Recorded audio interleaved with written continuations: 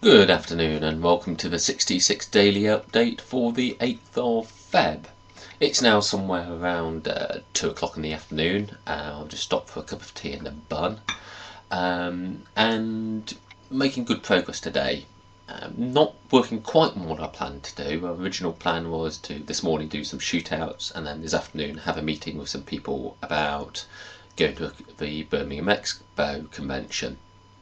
Uh, meeting's fallen through and the shootout stuff um, is sort of put to one side as I got involved in sort of generating a new PDF for Outbreak. Uh, next week on the 14th, uh, we will be releasing um, Outbreak and the core rules and the generic modern cards all onto RPG Now.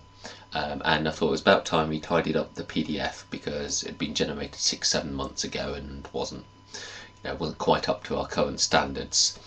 Um, that turned out to take a lot of more time than expected. You know, I found a few things where actually some of the characters were just a little bit broken, uh, needed to fix some one or two of the cards and things like that. So that's pretty much eaten my morning. Um, fortunately, the meeting has been cancelled or at least rescheduled.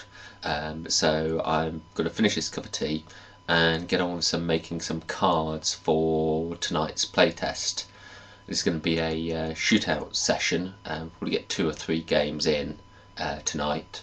Um, having over the last two or three weeks, we've sort of done another sort of final test run through basically of all the um, the core characters, the starter deck characters like the bartender, etc.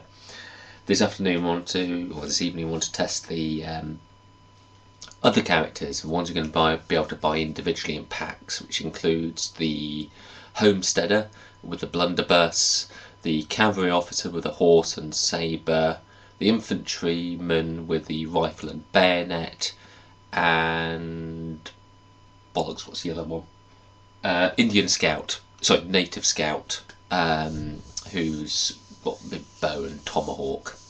Um, so I'm putting those, um, they're all sort of done and sort of fairly tested. This is just the sort of final uh, test run we need to do.